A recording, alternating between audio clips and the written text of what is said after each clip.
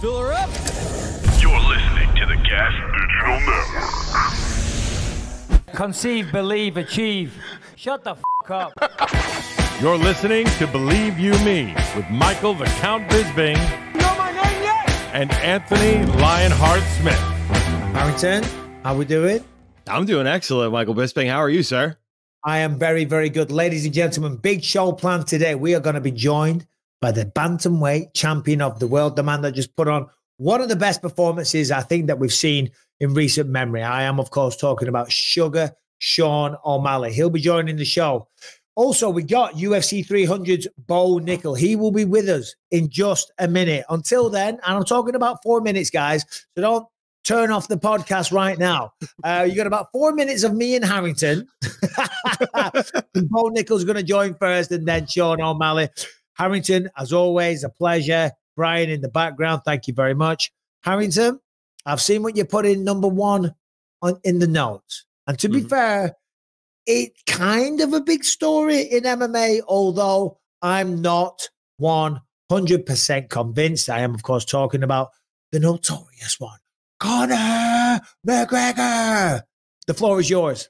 Uh, so he's been, you know, on. He went on the MMA Hour as well as a number of other places. Had like a long sit down interview with Brett Okamoto. Pretty much anybody, you know, with a microphone in the MMA space has spoken to Conor McGregor this week, uh, and he said the same thing in every single one that he is back. He has talked to the UFC, ready to get rocking and rolling uh, for a fight this summer.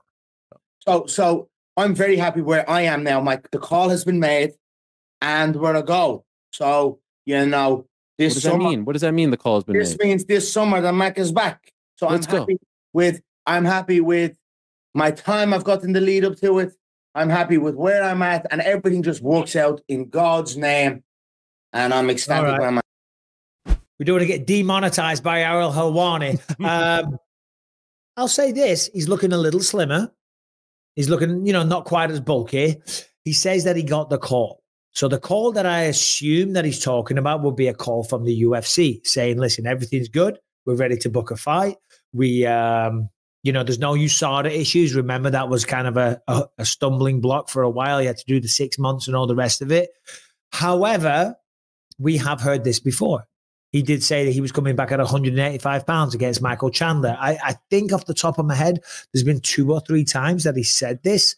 I guess when we get an announcement from the UFC, that's when it will feel a little bit more real. I don't assume that he's lying. He's not talking out of his ass, but he's done this before. He said that he's retiring before as well, many times. You know, Fair Play's doing the rounds right now, promoting Roadhouse. A lot of people saying good stuff about it. I'm looking forward to seeing it. Um, but Saturday night, there's a big night of fights. Is it Rose Namajunas this week? Rose Namajunas versus Amanda Ribas. Amanda Ribas. That's a good fight. Um, so if Dana's there, he will no doubt be asked about this. So I guess we'll get some clarification from the UFC Saturday night. Uh, but when he says sept, uh, summer, does that mean International Fight Week? Does it mean August, July, September? I mean, you know, I don't know. Could be a few months away yet. Yeah, I mean, there, you know, you you you are leaving yourself a pretty big window to to sneak in there, but I mean, with everything that he said, I would have to imagine he's still targeting that uh, uh end of June card. You know, the Yeah. I think it's 303 International Fight Week. Is it really? Oh, Okay, whatever. Three or three international fight week. I haven't been marking them down, counting them off. I haven't been, you know, counting down the days. Really? Hold you don't have your UFC pay per view advent calendar? I do, I do, and every day I, I strike one off. It's like woohoo, let's go. Um, but UFC 300 just around the corner. I'm excited for that one. That's going to be a landmark event. Bo Nickal jumping on the card shortly. Jamahal Hill, top of the bill. So we're going to talk about that stuff. We've got a few little fun non MMA stories as well. But uh, Conor McGregor, Michael Chandler. Okay, let's just take his word for it. It's going to go down. What's your early prediction there? I think it's going to listen. Michael Chandler. I did a video yesterday. I mean, this guy's been waiting. He's been lifting. He's been running. He's been meditating. He's been manifesting. He's been doing anything that ends in an ing. He's been doing it. Do you know what I mean? Poor old Michael Chandler's been waiting in the wings. He's been waiting. What else has he been doing? He's been lifting. He's been pontificating. He's been YouTubing. He's been interviewing, A bit of commiserating every now and then. commiserating for sure. He's been promoting on WWE Raw. You know, there's a few more ings, whatever it is. poor old Michael Chandler has been doing it.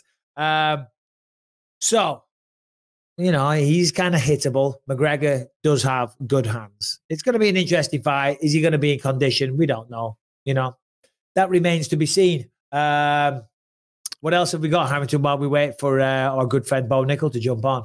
Well, it also remains to be seen. Uh, I thought this was just an interesting talking point about it. He said, I'm not sure if I want to do a three round or a five round fight. Um, he said, I might just want to come in and do a three rounder to get my beak wet. So I'm wondering, could that mean he's willing to take a co main event spot? You know what I mean? And just have that three round fight versus a special three round main event? That seems weird. Yeah, I, I, I can't see that. I mean, listen, Conor McGregor makes history. You know what I mean? McGregor, if, if they'll do it for anyone, it will be Conor McGregor. But I, I just don't know. I just don't know. It's interesting that he says that. Obviously, that would have me thinking. I mean, it's you don't have to be a genius to extrapolate this that he has cause uh, concerns of his conditioning. That's what that would lead me to believe. But the opponent doesn't change. You know, three round main event. That's old school. When did they start? When, when did they change it to five rounds? I don't know what year that was. I'm going to take a guess and say 2014. 2014 is do you know that or are you literally It's guessing Literally a guess off the top of my head. i think it's probably around there no no but when i fought vitor belfort 2013 that was a five round fight Oh, okay. So I'm wrong. yeah yeah the game What- what plan you was you know guessing? vitor with his big muscles pin him up against the fence make him wrestle get him tired then take him out in the later rounds great plan except i got bingo in round two so It's, what if you it says here June 10th, 2011 was the the day or two after he announced it. Okay, okay, okay. Uh, Rose Namajunas, we're just filling a moment while we wait for Bo Nickal. Hopefully, he doesn't let us down. Bo Nickal seems he does far not. too. Oh my God! Speak of the devil, there he is, and he shall appear. I was literally just saying, about to say, Bo Nickal doesn't strike me as the kind of guy to let one down. You know, what oh, I Oh, mean? you seem like a very dependable guy, Bo. yeah, I try to be. I try to be for sure. It's that wrestling mentality, the discipline, just built into you. Absolutely. Yeah. Yeah. You know, it's interesting. I, I didn't really realize that people were late to practice or missed. Like, I, that was never really an occurrence to me until I started fighting MMA. And now I'm like, oh, wow. Okay. That's interesting. But I don't know. Yeah. Not, not my style. Well, well, no, exactly. You know, in the wrestling room, you know, it, that that will not fly. But uh, I'm sure at this point now you must be accustomed to Brazilian time. yeah, I, I am. You know, I'm I'm fortunate. I have uh, two Brazilian coaches, and they're like, I think the anomalies because they're always ready to go. So I think uh, Oh, I'm, I've been fortunate. okay. I've seen other people, uh, and uh, it's definitely it's its own thing for sure. They're, they're Yeah, yeah. No, it used to piss me off, man. It used to piss me off because I would drive when I was back in England. It was like Mhm. an 80 minute drive to the gym, and I still get there on time. And all the people that lived like five, 10 minutes away, they'd rock in like 20, 30 minutes late. I'm like, Yeah. what, the, what the hell are we doing, guys? Right. Anyway, Bo, thank you for joining us. I appreciate your time today. Uh, how is preparation for the big UFC 300 going? prep's been great. You know, I feel awesome. I think that uh, it's been, um, you know, obviously a long time since I was able to compete last, and I think that's been a really good thing for me, um, just to continue to grow and develop and mature as a mixed martial artist. And uh, you know, just with everything happening as fast as it has, um, you know, that time has been really, really beneficial for me. So I feel uh, really just excited to compete. I think I've made a lot of gains and improvements, and yeah, just you know, all healthy and everything. So feeling feeling grateful for that, and just excited to get out there and fight again. Yeah, July 2023. Sorry, I was just looking up the fight card there as you were Mhm. talking. So, what it's going to be, what, eight, nine months or so? So, that is quite a break. It's certainly when you're starting off your career. What has been a big focus for you in that time?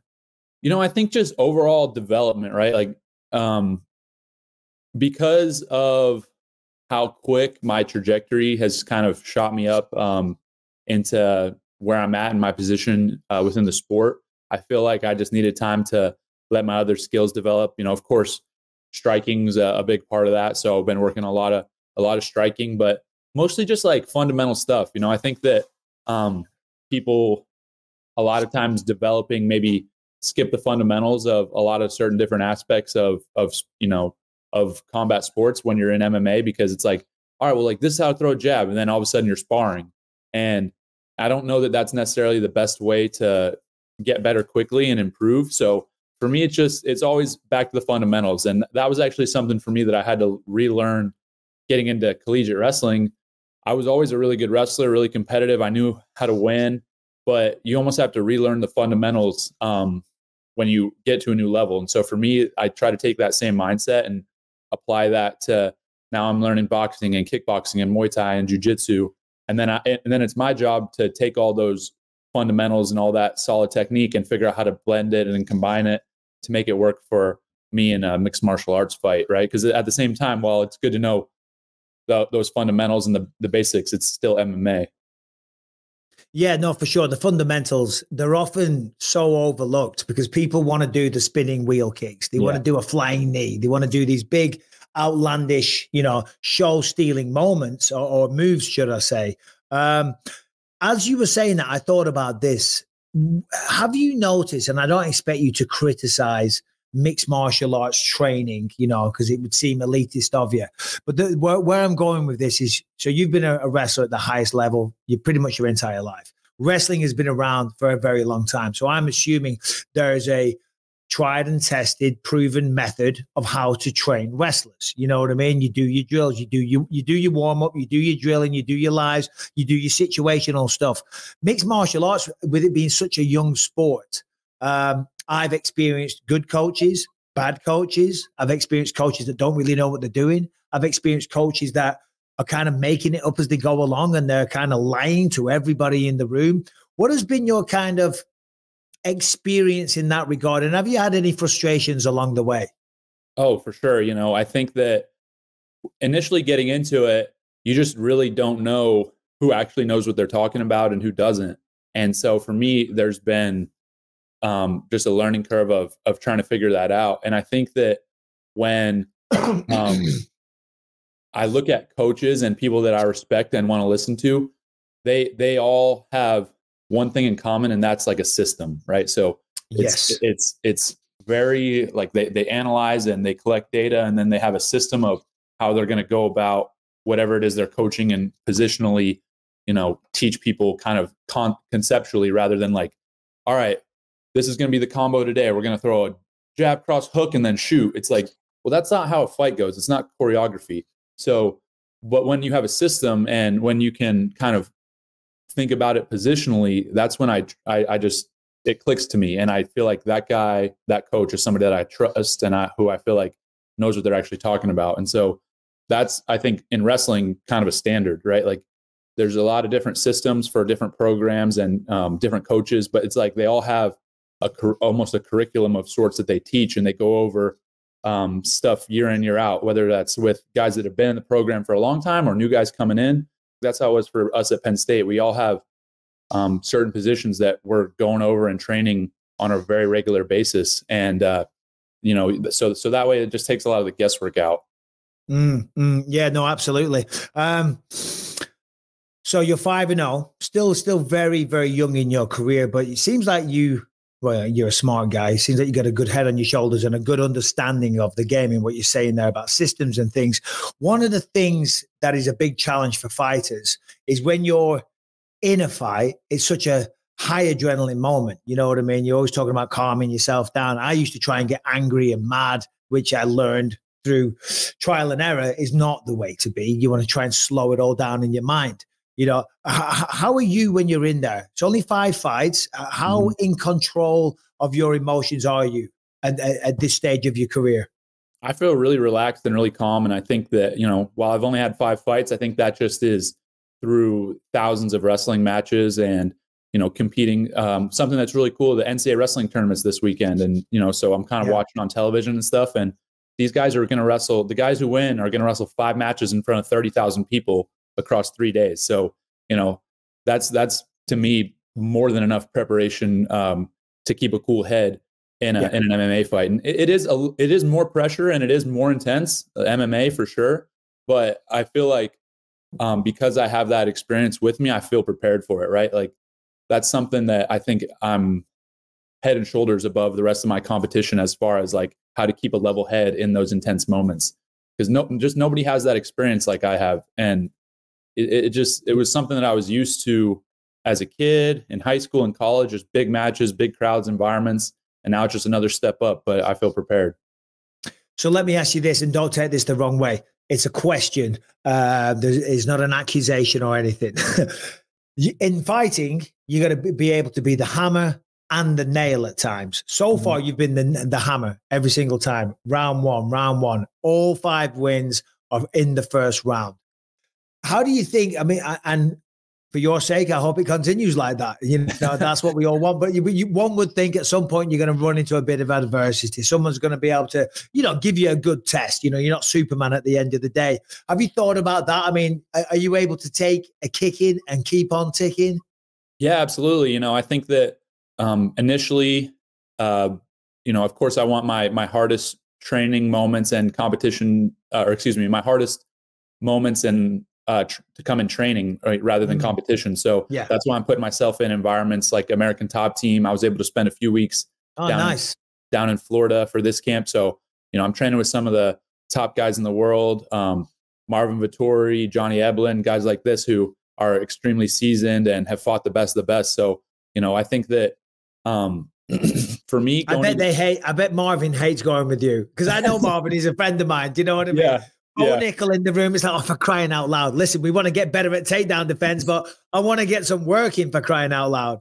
You know, I think we're great for each other because, you know, while obviously I have a wrestling edge, he's just got such a, you know, experience in, in MMA overall, you know, fought for the belt. And that's something that uh, super valuable. So I think we're, we're really good for each other and uh, we can help each other maybe where uh, the other person lacks a little bit. So those are the type of environments I'm putting myself in, and that way, hopefully, you know, people say the cliche, right? Like train hard, fight easy, or something like that. But um, for me, I, I honestly kind of am like excited for the idea of somebody being able to make it past around with me, or to like hit me, or just you know put me in a position where I have to like I they resist me a little bit because it's literally been zero resistance for my whole career. Um, so for me as a competitor, as somebody who I'm doing this sport because I love it, because I enjoy it, I I want to continue to get better and improve. Like I want to feel that adversity and I want to feel a little resistance. So you know, hopefully, um, my next opponent can do that, and at least I would love it if I could make it to the second round. So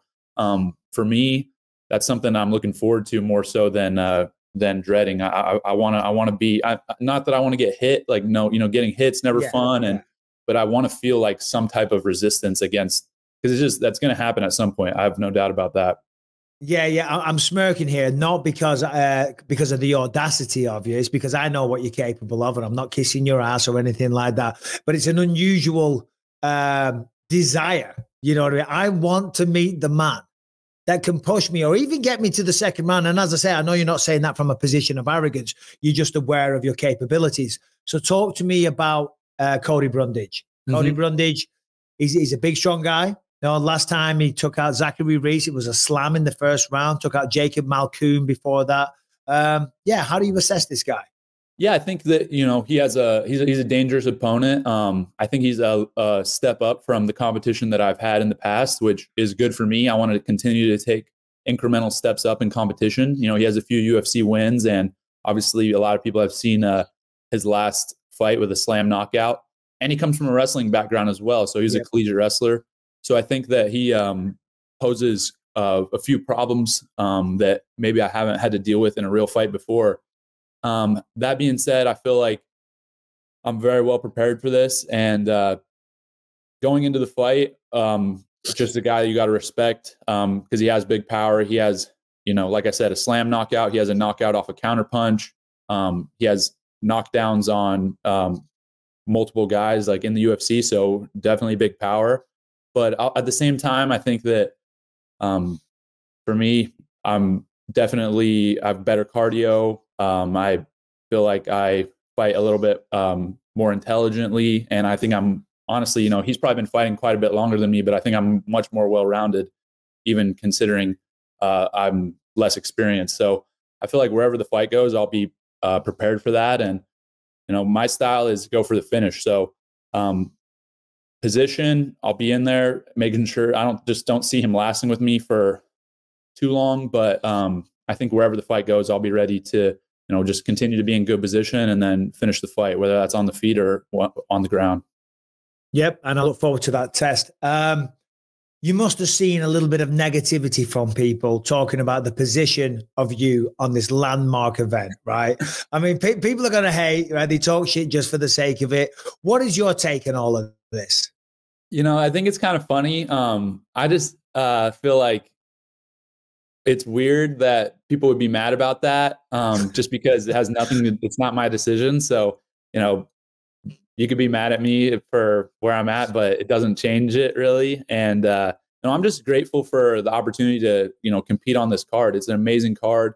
There's so many uh, amazing fighters. And I just feel like the fans don't realize a couple things. One, no matter where you fight on the card, like you're getting paid the same. And the pay per view costs the same. Like you're still gonna be able to watch the fight. It, it doesn't really It's matter. a good Like, point.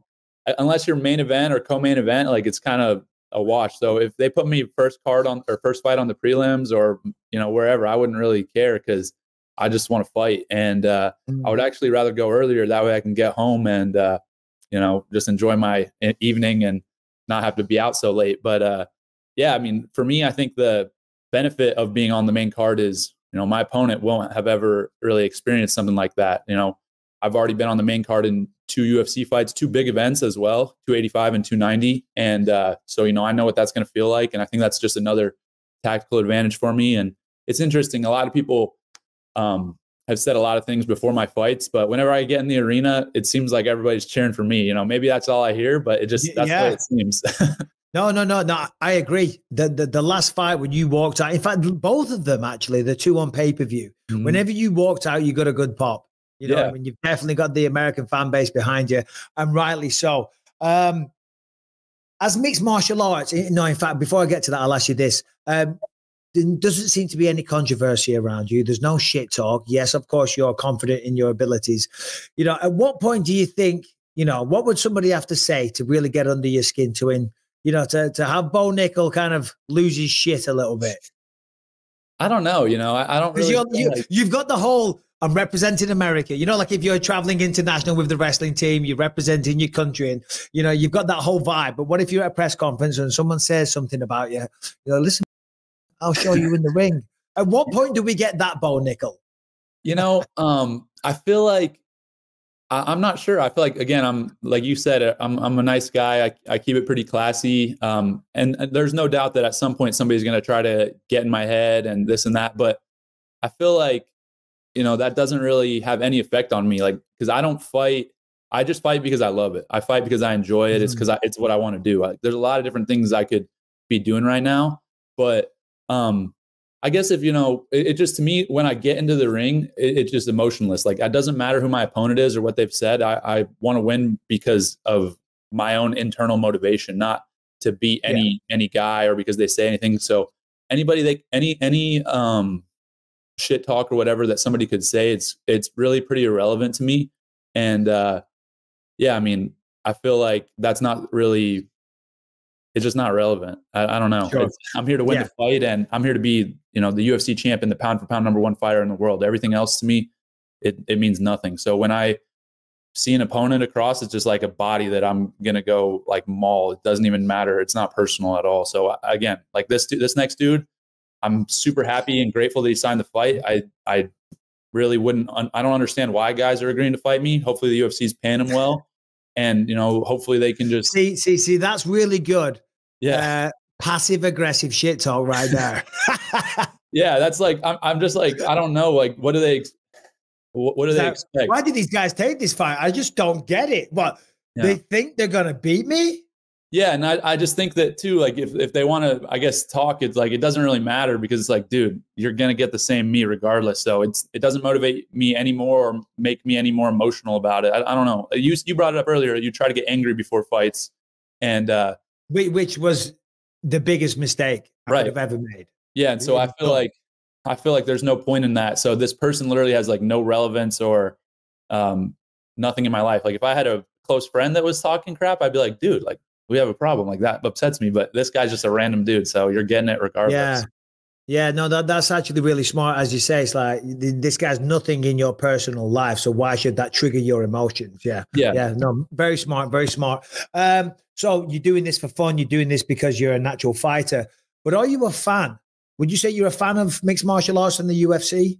I would definitely say I'm a fan. I, I love the sport. You know, I've been watching um, MMA and the UFC for a long time. You know, a long, long time, and uh, it's something that I really appreciate the growth of the sport, the way it's changed, and how it's become mainstream. And uh, yeah, there's a lot of a lot of fighters and guys that I watch who I respect their skills, and I think that uh, you know it's, it's exciting time to be part of the sport. And mm. I feel like you know it's exciting for me the opportunity to hopefully continue to move that forward and and push it forward into um, maybe you know bringing more viewers in or into a new level of competitiveness or or whatever it is. There's a lot of different ways that I think the sport can be pushed forward, but uh, you know I, I think that hopefully I can be a part of that.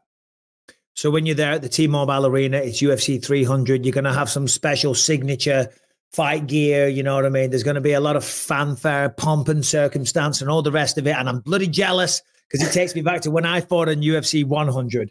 But when you look at the fight card uh, as a fan, which is the one that you're really most looking forward to? Oh man, there's so many good ones. Oof, that's a good question. I think that as a fan, the fight I'm looking forward to the most, I'll I'll, I'll, I'll name two. I think that Charles uh, Oliveira and Arman Tsarukyan, that's a freaking yeah, amazing yeah. fight. Two guys that are so high level, well rounded. Definitely, like I just mo- mentioned, like kind of pushing that envelope and moving the sport forward. I think both these guys are doing that. And while they are both so skilled, I think they're both skilled in different areas. Obviously, you look at Oliveira, his ground game, and you know, fighting off his back, submissions, elbows, you know, big power on the feet. And then you look at Tsarukyan, you know, showed big power from his last fight with Beneil Dariush, but also, you know, just a really, really tough um, guy on the ground, more of a top guy. Has a takedown, took down Islam Makhachev, had a really close fight with, uh, you know, Islam. So, I mean, that fight, as far as skills go, I mean, that's definitely to me the probably one of the highest level fights on yeah. the card. No, no, 100% agree. So we're going to let you go in a minute, but I got to ask you this. So you came on here, you said you gave yourself a three year journey to become the champion. So now we're about a year into that. So now it's a two year journey. Everything's going to plan. You're still undefeated. You're on the biggest fight card to happen this year. The champion is uh, Dricus Du Plessis. I almost said Sean Strickland. What am I saying? the champion is Dricus Duplessis. Number one, what did you think about that fight with Sean and Dricus? You know, I thought it was a good fight. I think uh, from my kind of outside view, it looked like Sean didn't really compete as well as he normally does. Um, I think he's the underdog in a lot of his fights, and it's a different type of pressure and scenario when you're the the champ and when you're the guy that people are coming from or they're that yep. people are coming after. And so I don't feel like he put his best performance together. I think Dricus looks super motivated and he competed very well.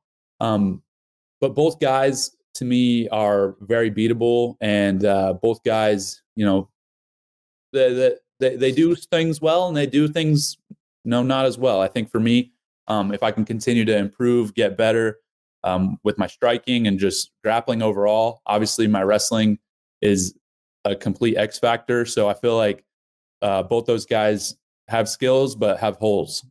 Mm. That's kind of the way I saw it. Okay. So right now the champ is Dricus, and the top five is Dricus, Sean, Izzy, Whittaker, Jared Cannonier. Um, let's say two years, let's say four fights for yourself until you get a shot at the belt. Who do you think at that time will be the champion of the world. Have you envisaged that title fight and who do you think it's going to be against? Um, I, I guess I'll say this first.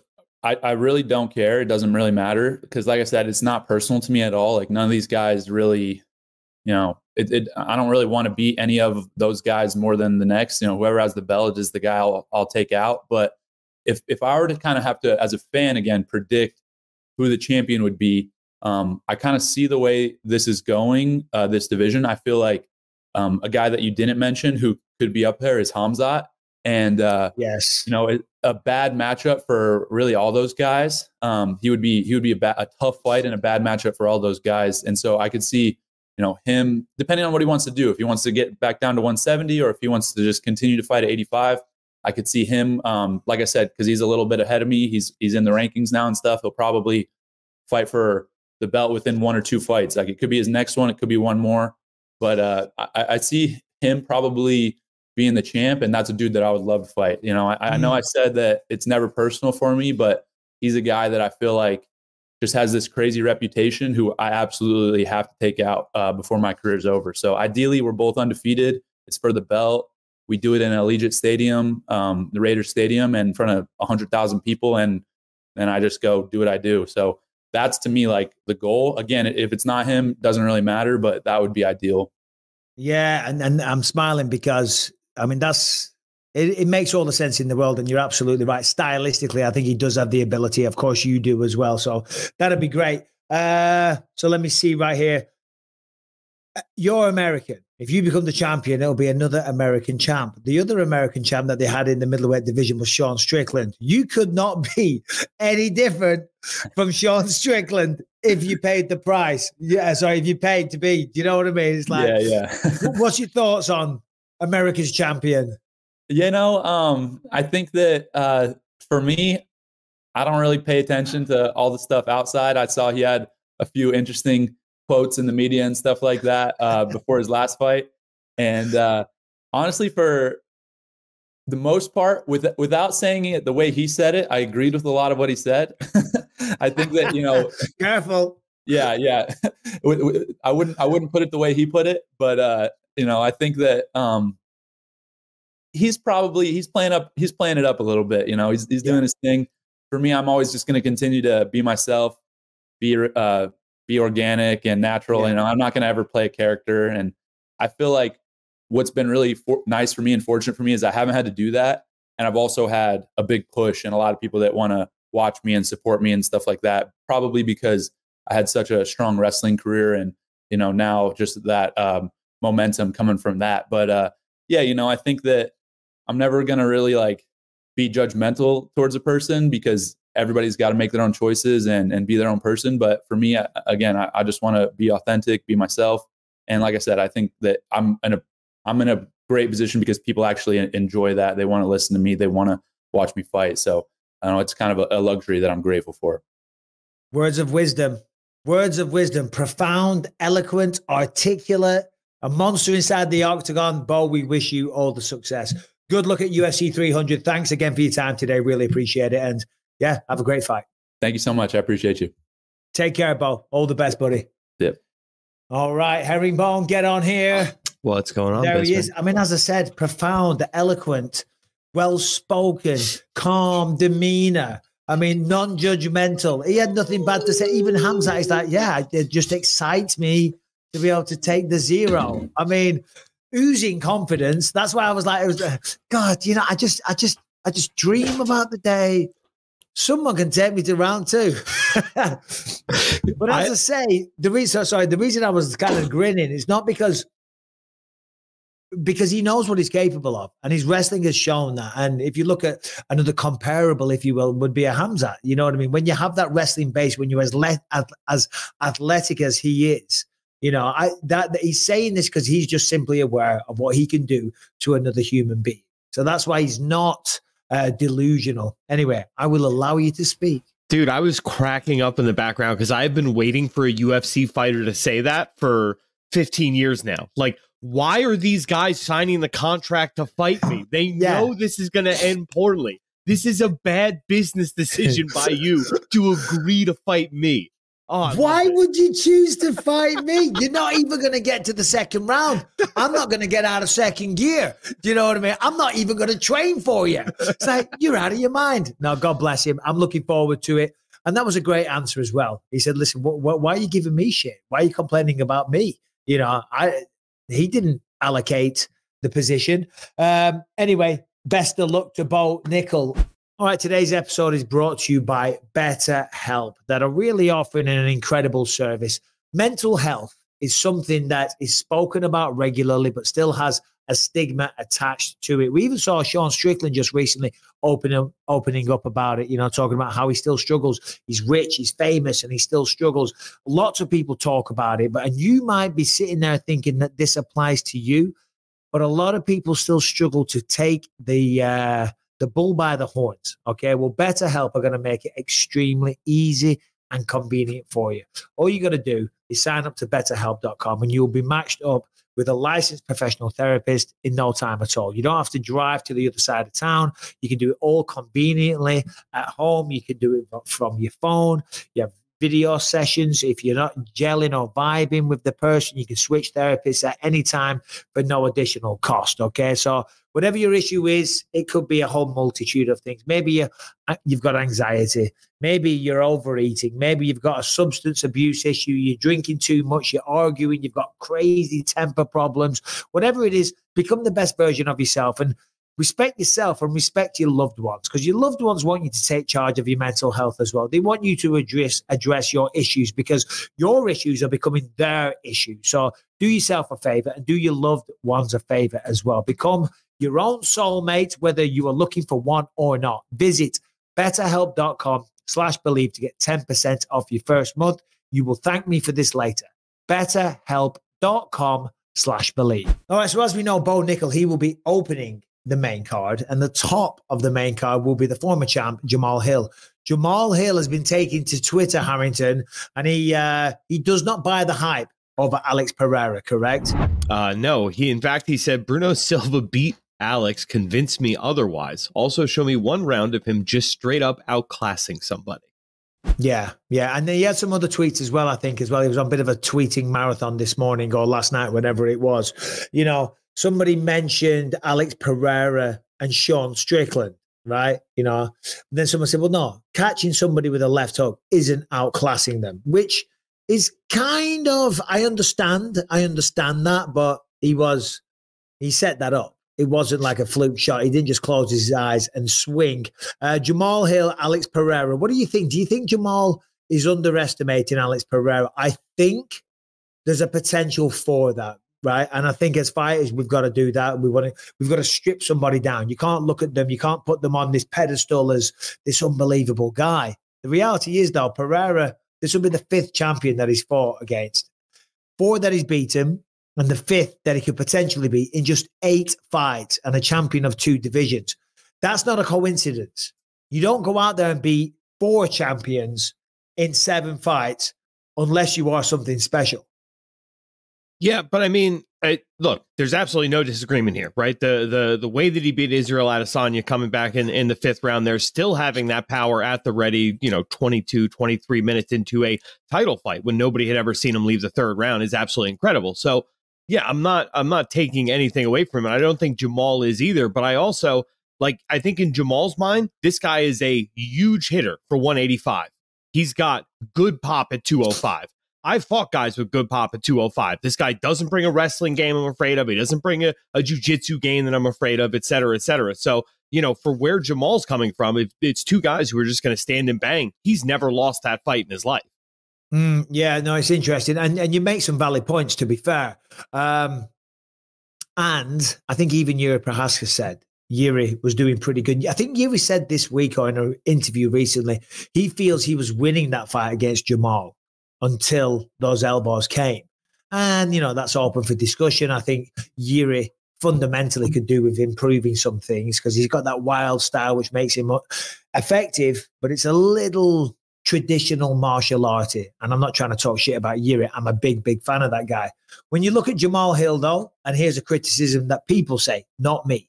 People say, well, Jamal Hill, you beat an old version of Glover Teixeira, who was 42 years old. What was he, 42 or 40, something like that? I'll double check, but I believe it was 42. To, yeah, yeah, yeah. Which, which, you know, he was the champion of the world. It's not his fault that he was the champion. So you can't criticize him for beating the champ. Before that, he beat Thiago Santos, knocked him out cold. Before that, Johnny Walker. I mean, Johnny Walker is a big dude. Johnny Walker's in his prime. Johnny Walker hits hard. He's a freak of nature. And that was one of the sickest knockouts ever. So, and before that, Jimmy Crute, again, knockout. So three, three knockouts, one decision over the champ. Um, what are your thoughts on that fight? Be honest, Harrington. I don't know. I I I have seen I've seen Alex Pereira uh, slumped over, you know, asleep in the cage getting knocked out. I've never seen that with Jamal Hill. So I mean, if it's like I said, if it's two guys are going to stand and swing absolute hammers at each other, yeah, Pereira might be you know more technically sound coming from a kickboxing background, whatever the case may be. But Jamal Hill has a chin and the power to put him out for certain. Yep. Uh, and I'm just his chin's never been cracked. And and you raise a good point. Jamal definitely has the power. I think he does have the ability to take his good shots because, as you say, I mean, Israel Adesanya was able to knock him out. Granted, at 185, you can't take a shot as well there. Uh, is Jamal as polished? Probably not. Is he big, powerful, explosive? Was he, he could have been a pro basketballer, right? If I'm not mistaken, he had a scholarship playing basketball. That's how he tore his Achilles. So he's very, very athletic. And maybe he might not be quite as polished technically, but that doesn't mean you're not as effective. And with four ounce gloves on, you've only, you've only got to connect once. And Jamal Hill does have that kind of power. Early prediction from yourself Pereira or Jamal Hill? And I'll throw it to you, Brian, as well. My early prediction: it does not make it out of round two. How about that? It's going to be a quick fight. It's going to be a banger, though. Oh, I mean, right. But listen, I, I was going to say that I'm kind of leaning to Jamal, right? But as I said, Jamal, a two weight division champion at Glory, beaten four former champs Sean Strickland, Israel Adesanya, Yuri Prochazka, who's the other one? Jan. Jan Blachowicz. So he's beaten four former champions, right? You know, and he was a glory champ. He's been the champion at two weight classes. That's a hell of an accomplishment list in, in seven fights. Do you still think Jamal Hill is the winner? It's so tough to pick against that pedigree, Yeah. right? But at the same time, you know, like it, it, I don't know what Jamal Hill's resume is, but he can only beat the guys who've been put in front of him. And the only guy who's put up any kind of a, a test to him so far in the octagon is Paul Craig, who broke his arm on a submission, right? I, Alex Pereira is not breaking out any flying arm bars here. No, he's definitely not. Neither is Jamal Hill. And they both said they're not going to wrestle. Do you know what I mean? So we'll see what happens, you know, but we might get a Nate Diaz special. Brian, Brian, jump back on, brother. Uh, you're going to get to choose. Now, we're not going to do anything political because a lot of people are going, they're going batshit crazy in the comments. And I don't want to get political anyway. But in the non MMA section, Brian, a couple, one, one of them is for sure political. we have a Venezuelan uh, vixen, I was going to say, a Venezuelan migrant blown up on TikTok telling people how to uh, enforce squatters' rights. We have Gordon Ryan clapping back at Ffion Davies about the the, the fight to pay between the disparity between male and female. These are both political. Those are two that we're not going to touch. What about we, what about number three? we got the Neuralink. Okay, Neuralink is going. All right, let's talk about that, Brian. Give me your thoughts on that. For those people that don't know what Neuralink is, it's a chip, and I am butchering this that Elon Musk has developed. You implant it into somebody's brain, and with I that, got a they have video. power. They have the power to do a lot of stuff just by thinking about it. And please, all right, let's have a look. This video here, I saw it on Twitter earlier. I saw it on the news as All well. All right, we should be streaming live here. Hello, world. How's it going out there? My name is uh, Bliss, and I'm an engineer at Neuralink. Not and bothered. uh, I'd like to introduce you to the first ever user of the Neuralink device. And I think you're my only telekinetic friend that I have. Yeah, I think so. yeah, not many more of those out there. You want to introduce yourself? yeah, my name's Noland. Can we skip forward a bit, I'm right, to the good stuff? old. No offense to these guys. Yeah, yeah. There, is- there it is. It's a, it's a logo video. What was it about Neuralink that made that possible for you? Yeah, so one of the big things was There- there oh, we I think. I just got checkmated. Um, um, the only way I could play it All right, all right, all Was right. Kill the through, video. Kill uh, the video. yeah, that, that, that was like, you know, like you watch a YouTube video and they do the big introduction at the start.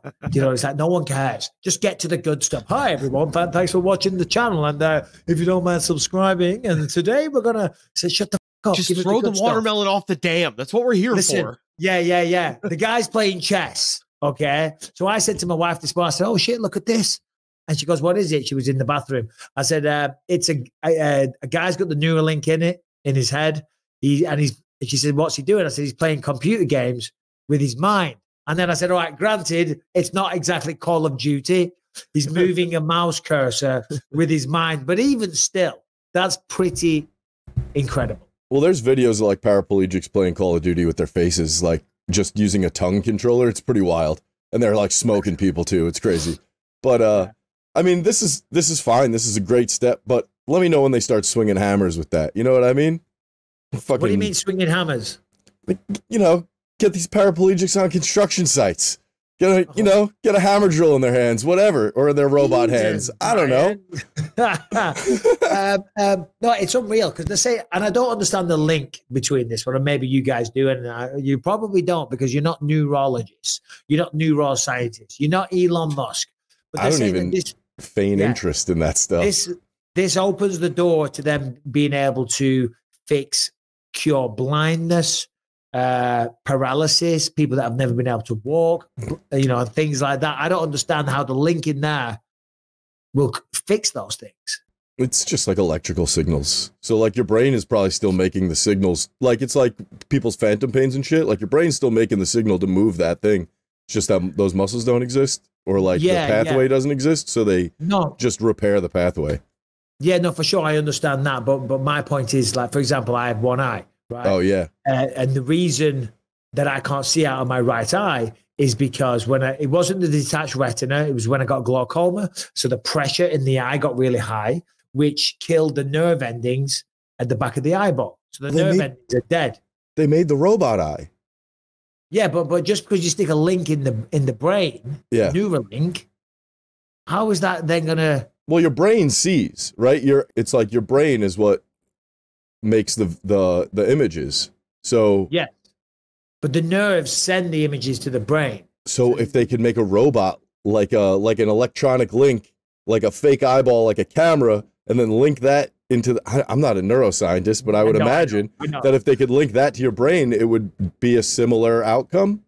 You're doing a good job though of, of, of dissecting the code. Speaking of eyeballs, I went in the other day because I was getting a new one. I was getting a refresher. I've got a little video. I'm gonna I'll send it in at some point where the way they do it, it's wild. So they're putting all the the um you know the solution what they do to mold a new one and then they have like a straw sticking out of it that they, they pour the solution down right onto your bare eyeball it's kind of cold and stings and stuff but uh well done to elon musk man he truly is changing the world changing the goddamn world it's unbelievable Well, you know, motivated people with money. My Yeah. first thought when I saw this, I just saw the mouse moving and I was like, this is so lame. Who is going to get a thing put into their head just so they don't have to touch their keyboard? Yeah. And then I saw he was paralyzed and I was like, oh no, this is actually a great thing. Like, this is my cynical, like, I, I, I can't contain it. But, like, yeah, if that's who you're using this on to give them a, a wider range of the world, uh, yeah, this is awesome. No, for sure, for sure. That's incredible in itself. But you got to think of it like this. So when you see that he's just controlling a cursor, he's playing a rudimentary game of chess on a computer. It's like going back to like the 80s and you used to have Pong. Remember, you put the Mhm. cartridges in and you played on your TV and there were those crappy uh, computer games. Now look at it. Now look what's been achievable in what, what, 30 years? 40 years? 40 Some- years. For, for, 40 years. Yeah. For some reason, I think of the 80s as like 10, 15 years ago. Mhm. Yeah, 20 years. It's always 20 years ago. The 80s is 20 years ago. 40 years ago. 1984 was 40 years ago. That's wild, man. Wild. Yeah. You know, did you have one of those? You, you were too young, you two, weren't you? I was, but I was born with a Nintendo. Like my older brother had one in 1986 when they came out, and I was I born in 87, so I've always had a Nintendo. What year were you born, Harrington? I was born in 88.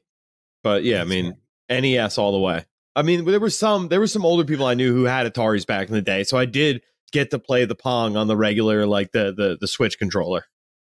I remember uh, going around to somebody's house as a kid and they had a Sega Master System. Did you get those in America? And the game that was built in was Alex the Kid. Sega Master? No, we had a Sega Genesis. Was our our that So was like Genesis. That, Yeah. that was like we called that in the UK a Mega Drive, the Se- which I think is a way better Oh. name. Sega Mega Drive, that was the 16 bit, but the 8 bit was the Master System. So what was the Sega 8 bit called in America? I those never got super popular. we had a Super Nintendo. Was our Yeah. 16 bit, if I'm not Yeah. mistaken. The Right. SNES. So I think Sega Sega blew up in the like in Japan, like the the the Master System. And I remember it was called the Master System because there was a Western executive trying to pitch it to a Japanese guy, and he's like, "The Master, like you know, like you know how important a Master System is. This is going to be the greatest thing ever," and it got them to sign on. It's a good name, isn't it? The Master System. That is good. That's what I might call. Michael Bisping's Master System of martial arts. Um, yeah, I, I, I, I, lo- I don't know how we've gone from Neuralink to talking about consoles. You know what I mean? Because they were playing Sega. games. Yeah, playing games, exactly. And I don't know shit about neurology. So we'll talk about Sega Master Systems and Nintendos and Mario, okay? Um, yeah, Super Nintendos, man. I was obsessed with Nintendos when I was a kid. Street Fighter 2, I say it all the time. I will whoop all of you. I'm the only person I know to beat Battletoads, Ooh, What's which one? Battletoads? the original Battletoads. I don't know it. Oh, it's super difficult, even as an adult.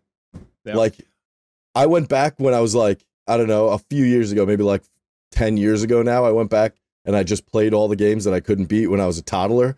And I was like, oh, most of these are easy. Ninja Turtles and Battletoads are the two hardest games that I've ever beaten. And I had to wait like 20 years before I could do it.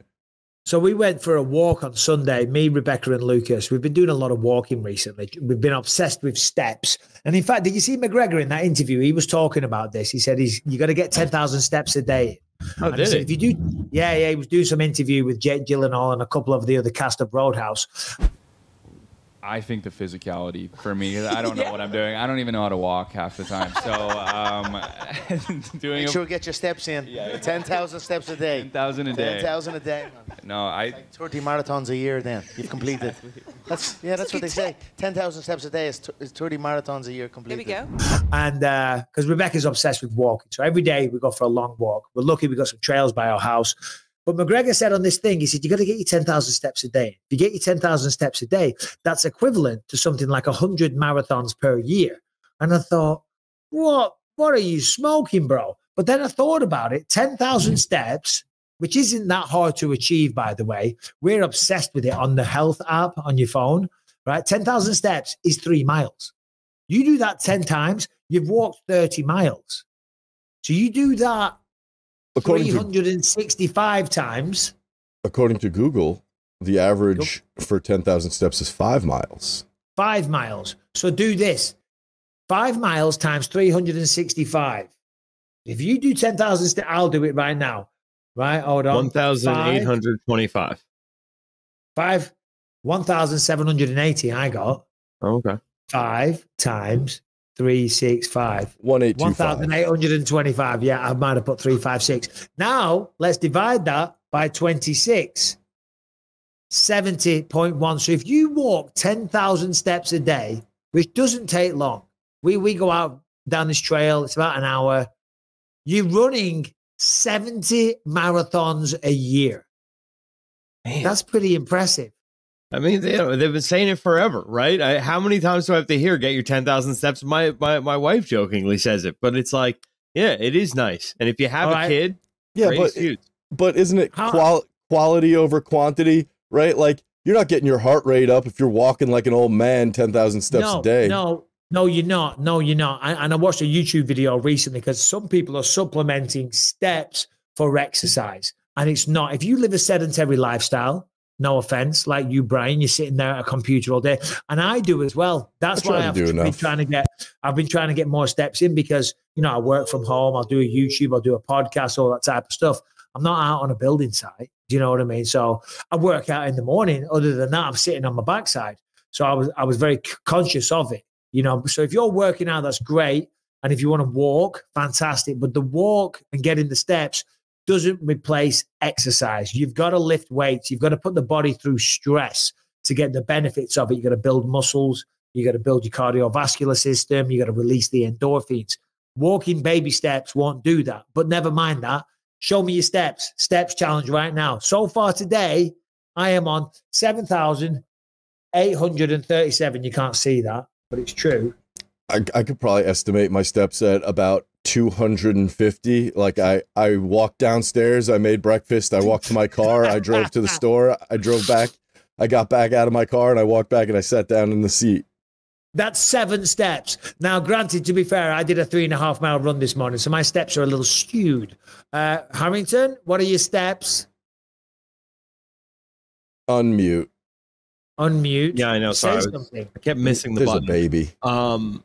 Okay, so I'm shocked at how much it was. Then I remember I walked out to the car to try to get the stroller. I'm at 37.52 for the day. But yeah, okay. How far away is your car? Kind of far. Yeah, yeah, yeah, yeah. Ladies and gentlemen, in the words of Conor McGregor, get your steps in. If you do 10,000 a day, You're running 70 marathons a year.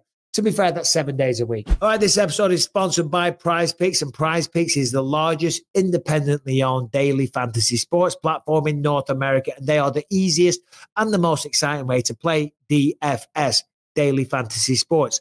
It's just you against the numbers. So it really couldn't be any easier. Will it be more or less than a given time frame, period, points, strikes, takedown, goals, hoops, points, whatever you want to call it?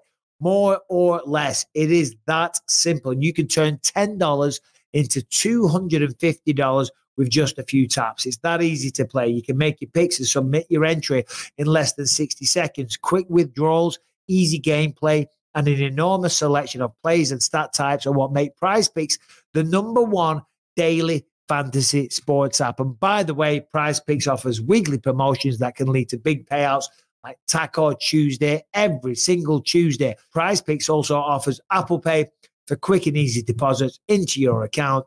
So, what more do you want to know? Well, you want to know what's going on. For example, this weekend, Jalen Brunson, will he get more or less than 28.5 points? We're talking about basketball in case you didn't know. Jamal Murray, will he get more or less than 7.5 assists? And lastly, Nikola Jokic, will he get more or less than 12 and a half rebounds. If you know the answers to that, and to be honest, it's a 50 50, so it's really not that hard. Head on over to prizepicks.com slash believe. Use the code believe for a deposit, a first deposit match of up to $100. Prizepicks.com slash believe. The code is believe for a first deposit match of up to $100. Anyway, should we uh, talk about something? How long until Sean O'Malley joins us? We've got eight minutes. So Harrington, throw me a mixed martial arts story. Make it a good one, please. Okay. Uh, so I thought this was super interesting, and I've never, I have seen it done once before in my life. Uh, but Alex Pereira is talking right now uh, about the prospect of turning around if he has a good UFC 300 and fighting at UFC 301. He already has a prospective opponent in mind uh, because people were asking his manager, you know, your next opponent might have a, a heavy grappling style. Would that affect you know, how you're training. He said, no, I've been doing a ton of grappling training, as is right now. Uh, the idea would be he'd be fighting uh, uh, Jamal Hill and then Magomed Ankalaev 21 days apart. Yeah. Oh, what's going on? Sorry. I meant to Oh, there you are. Um, yeah, I, I did see that. And I saw reports somewhere. Apparently, he's got a clause in the contract. Right? I don't know where that came from. I remember Uh, reading it at the time, but I forget about it. I, I forgot. Who was it? Uh, I believe it was Luke Thomas reported that uh, on his new show, and then uh, uh, Pereira did uh, confirm that. Okay. Oh, really? So he does have a clause in the contract that if he gets through it unscathed, he will be main eventing four or five weeks later. Uh, Three weeks later, it's 21 days from event to event. I mean, that's some guy, isn't it? Do you know what I mean? That's unreal. Never mind, never mind five champions in eight fights. He's back, he's headlining pay per views all over the goddamn place. I mean, that's a legendary guy, right? Fair play. Listen, Jamal's amazing. He isn't doing this. um, right. I understand him wanting to do that. It's Brazil. He wants to go back. He wants to headline a pay per view in his home country. That's one of the that's one of the best feelings as a champion. You know what I mean? When you can take the belt home, defend it in front of your people, it's an incredible feeling. I was lucky enough to do that, and I'll never forget it. Um, but they always say in sports or combat sports, you can't look past your opponent. You know, and I, I still feel like it's a possibility to do this without necessarily disrespecting or not respecting the threat of a Jamal Hill. He's just confident that you know history has shown he can take people out of there. And if he was to do it, then yeah, fair play to him. I mean, it's legendary stuff. My only question is who would it be? And you already answered that. So you're saying it would be Magomed Ankalaev because I'm looking at the rankings. I mean, who else would it be? Jamal, he's fighting. Prochazka, he's beat. Ankalaev would be the one. Then it's Rakic, Jan Krylov.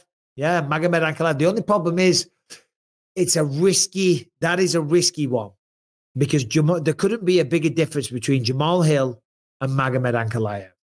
Magomed Ankalaev, I believe, if Pereira gets through Jamal, and that's a big if, but if he gets through Hill, his biggest threat is by far Magomed Ankalaev. Everybody in that list Yuri, kind of a striker first. Uh, who else we got? Rakic, kind of a striker first. Krylov, he, all right, he's well rounded. Walker, he's a striker. Magomed Ankalaev is a very, very serious threat in every department of mixed martial arts. Are they just going to tack this fight on to the card if that's the case? Because wouldn't this be like unfair to Magomed? Is he going to get a different opponent if Jamal Hill gets beat up during uh 300? Like, it just seems like there's weird logistics going on. That's If- an interesting question. And it's a very, very good point. Does Ankalaev get another opponent? I don't I, I I don't know. Maybe they've maybe they've spoken to Magomed about that and just said, look, this this is the situation. Bear this in mind, have this date in mind, but it's not guaranteed. If he gets through him, would you want to fight him? And if he says yes, he says yes. If he says no, I'm not willing to do that. But you know what these crazy Dagestanis are like? Do you know what I mean? They're training 24 7. Do you know what I mean? They're not Yeah. out there partying. They don't need to get the alcohol out of the system. They're not laying off the weed. They're like, what time is wrestling? What I time just- is fight? You don't think? It, I think it would just be like a little unfair if they were like, "Okay, Magomed, you're either going to fight Alex Pereira or you're going to fight like a completely different fighter with a completely different style." And Yeah, yeah, but but if Magomed's happy to accept, obviously they've had a discussion with him. You know what I'm Sure, saying? fair and, enough. and I think I think Magomed Ankalaev certainly given that last win over Johnny Walker and how he's taken out pretty much everybody. Who was the, is it Paul Craig the only person to beat him? Uh, yeah, I believe he's still the only person to beat him. Uh, there was uh, yeah, the no and the only person against to beat Walker and- Jamahal Hill. Yeah. Yeah, Paul Paul Craig. Uh, yeah, look, listen, if he's happy to do it, if he's happy for those circumstances, then fair play. Alex Pereira will do it for sure. And I've kind of got a feeling that that was probably what went down. They said, look, listen, Magomed, here's what we're thinking. How do you feel about it? Brother, send location. And he's there. He- And I'm sure it's a thing where it's like he, I doubt he would be on that card if not for a title opportunity. You know what I mean? So I don't think like Yeah. there's concern where it's like, oh, you actually might have to fight, uh, you know, Nikita Krylov on this card. Sorry, like that's I I don't think they're gonna hit him with that. Have him train during Ramadan for the chance at a title. It's like you know, you're, you're getting. Yeah, I'm just looking at- resting. Yep, yep. I'm just looking at this in the notes. Dricus Du Plessis reiterated his desire to settle the score with Israel Adesanya. He acknowledges that Strickland, the Strickland fight is there and he's open to it, but he says that he wants to fight someone the fans want to see him fight more than anything. Elaborate. Uh, so he said, you know, he he does understand Sean Strickland's out there. He's talking about wanting this immediate rematch, but uh, he he's sta- all right. Uh, sorry, we have a, uh, a guest popping up. We'll get to that. in a second. Oh, get out of here, Hamilton. Nobody wants to speak to you anyway. I am. I regret the moment I have to see your face. Sean O'Malley. In fact, no, let me redo that. Ladies and gentlemen, we are joined by the one and only bantamweight champion of the world, Sean. What's going on, brother? How you doing? Brother Bisping, how's it going? Not too bad. Just enjoying this beautiful weather before it gets too hot. How you doing, Yeah. brother? I'm good, man. I'm good. I see you sitting in that big throne that you've got there. I saw that on a YouTube video recently. Ah. It's quite. That's quite the throne for a king. Yeah, I know. I just, you know, they get you on the internet sometimes. I don't even know what I was looking up, but I seen this and I was like, I, I have to You have got- it. You They gotta got have me. it. How much does got one pay for something like that? Um, you know what? I don't even look at this point, Bisping. I don't even know at this point. Hey, It's like whatever. Give me two. Yeah, exactly, exactly. It's quite the shot of your balls that we'd have as well if you moved your hands. They they are very strategically placed. You know what? Sorry about that, brother. Oh, you're good, Ah. buddy. You're good. You're good. You're good. Uh, listen, Sean, thanks for your time today, buddy. Uh, got to start with this. As you know, I'm boys with Chito, but I've got to 100% respect what I saw there. That, that that really was something special. It was a phenomenal performance. Chito's a tough bastard, and you made him prove how tough he was. It was from start to finish, sublime, beautiful, technically proficient. I mean, it was perfect. It was it was one of the best performances I've seen. I appreciate that, Bisbee. I've known you always been Chito's boy, and you've always kept it unbiased. As uh, you know, I've always appreciated that. So yeah, yeah, appreciate the performance overall. I felt like it was, yeah, it was beautiful. Didn't quite get the finish, but it is what it is. It's the next best thing that could have happened without getting a finish is whooping ass for five rounds. Yeah, yeah. Look, listen. I mean, we all want to get a finish, but also you were able to go out there and show the world what you're capable of. I mean, that, as I say, I've said it multiple times, that was some of the best boxing, the best display of balance and accuracy. Because a lot of people, I get frustrated sometimes. You see people running in with the punches and being reckless, and they fall into the clinch. It's like Mm-hmm. be in control of yourself, be in control of your weapons, your balance, your precision, your shot selection, everything. It was it was something special, man. The, the work you've done, it's really showing. Yeah, the greasy hair really helped me just stay balanced and uh, really helped me uh, pinpoint my shots. The greasy hair, man. Why would you do that, Sean? Just in case, you never know. No, yeah, that was a weird one. I, I feel like, I mean, even in the pictures or the video you watch, I mean, I feel like you can see if someone's hair is greasy. It's pretty visual. Uh, you know, my hair was as beautiful as ever, and uh, I thought that was a weird one. I feel bad for the guy. I'm like, just, just, just say I got my ass kicked. You get more fans. He's losing fans per minute. Ah, you're putting me in a tricky spot here. Yeah, yeah. well. I shouldn't have asked for this interview. Chito, I'm going to get a phone call from Chito going, What the f is been? I thought we were friends. It's like, Bro, this is what I do. This is No, how no. I make a living. I, I brought it up. That's on me. No, no, I know. I'm. I'm, I'm, literally joking. I don't care. I'll slap him.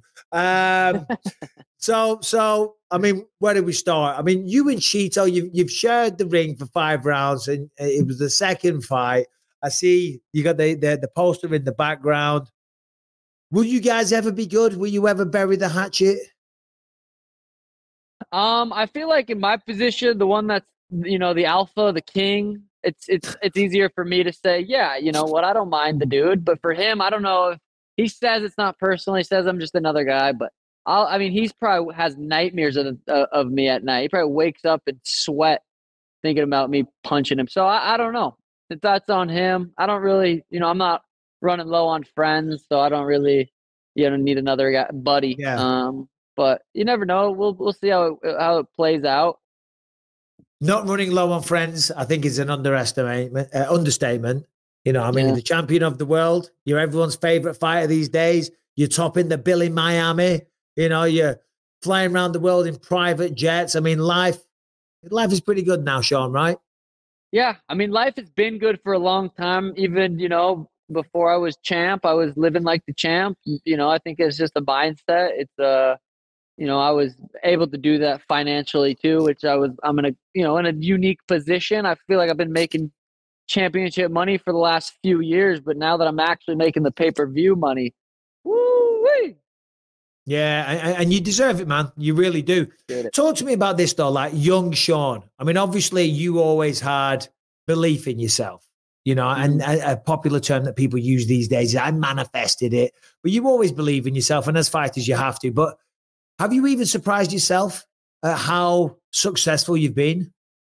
I wouldn't say I, I wouldn't say I surprised myself in in that sense how successful I've been have been. I think more so it's like I don't even know if surprising is the right word. It's more like just mind blowing how just my career's played out. Even still watching back the Aljo fight, going in there with an injury. Aljo's the hardest guy in the division for me at the time, and uh, to go out there and put his lights out in two was was just crazy. And then the Chito rematch, it's like that's the next. That was the biggest fight in the division because of how the first fight played out. So just how my career's played out, it's just crazy. But I definitely wouldn't say I'm surprised. Uh, I, I've still, I still have, you know, when I'm that young buck looking looking into the future, you know, we're I'm not even really close to where I'm gonna be. Like I'm, I'm gonna, I'm gonna be, and I've said it since before I even got to this. I'm gonna be bigger than Conor. People think I, I, you know, that's a stab at Conor from me, but it's, you know, nothing. I'm probably the biggest Conor fan. It's just a good goal metric of of where I want to be, and that's bigger than Conor. And that's I'm not there yet. I'm am I I'm on my way, but I'm really not even that close yet. When you talk about how many pay per views he's done, top ten, he's like seven out of the top ten. Like I'm not even close there. I'm closer than I was, you know, a year ago, two years ago, fucking last week, but I'm not Yeah. really there yet. So I just use that bigger than Conor as a crazy metric um, of, of where I want to be. How, how old are you now, Sean? 29. 29. I mean, you got bags and bags and bags of time to go. Uh, we're going to talk about what's next, though. Merab Davalishvili, you know, he's, I'm sure you see Merab as some like little annoyance, just nipping at your heels and talking shit and stealing your jacket and all this type of stuff. Uh, I did like your tweet, it, Merab's next, 2025. And, and everyone was like, this is great. I'm like, guys, is nobody seeing that he said 2025 and we're in March? Yeah. Yeah. Yeah. I just, you know, I, Rab's easy to get angry. You know, he's just a little, he's got short man syndrome, first of all. His just ugly as could be. So he's like, that's got to Oh, play a role in life. That would Oh. suck. So I just, you know, just pecking at the little guy. Yeah, yeah, yeah. Um, so who, who is it next though? Is it going to be Merab? Is it Nurmagomedov? Is it? Yeah, it's, it's definitely leaning. Yeah, d- definitely leaning towards Merab. The, the Ilya fight, you know, that's a that's a potential big fight someday. If I go out there, win a few more, Elias, you know, keeps doing what he's doing and, and wins a few more. You know, that could be a massive fight next end of next year. I I would say if, if we both go out there and do what we, what we need to do, that could be a massive fight someday. But you know, I think it's Yeah. leaning towards Merab next, which is, you know, a lot of people say I'm ducking him and I, I don't want that fight, but I don't mind that fight. I don't think, I don't look at that fight and go, oh God, that's, you know, I look at the Ilya fight and think, okay, fuck, this is kind of scary. Merab's scary in his own way. You know, he's got five rounds cardio. You get, it's guaranteed he's going to push the pace, guaranteed he's going to shoot, he's guaranteed he's going to, you know, bring it. But I knocked those kind of people out. I didn't knock Chito out but I, you know, I, it's not like I got tired and I could, I would have, I could have kept going. I could have Chito up for another five rounds. Like that was, Oh, uh, oh. you know, but it wasn't, it wasn't the rest. You know, obviously it's different cardio, kickboxing. Your, your phone's on the. Oh, move. the Sorry, the sorry. phone's on the move. It's got a you, you got a ghost, bro. No, my little puppy hit hit her hit the table. But yeah, What- I, I mean, what- what Murad's a good puppy is it? challenge. A What kind of sheepadoodle. puppy? A Sheepadoodle. sheepadoodle. Yeah, sheepdog What poodle. Oh, I okay, okay. I have a what is it? A Yorkie poo. A Yorkie A poo. Yorkie poo. One of those little mutts, huh? Yeah, little shit. Yeah, yeah. He's all right. Wh- wh- What's the multi poo called, or the sheepy poo, whatever it's, whatever the hell it is. What's it A called? sheep- What's her name? Yeah, Mary Jane. of course it is. My guy's I got, Harry. I got, yeah, I got Cush and Mary Jane. They're they're my they're my little pups. But uh, Nice. but yeah, Um. I'm gonna beat his ass. All right, okay, and I look forward to it. I look forward to it when the day comes. Give me your thoughts on Ilya Topuria. Do you see some kind of comp- uh, some parallels between what you're doing right now because you've just become the champion, you're a huge star. Topuria on the flip side at 45, and I mean from a respect angle. I mean he's making huge waves. He's ridiculously popular out there in Spain. I think I just saw that is him and his wife or him and his girlfriend. I'm not sure which she is. They're like the face of Dolce and Gabbana, some new perfume or something. Really? some big, yeah, yeah.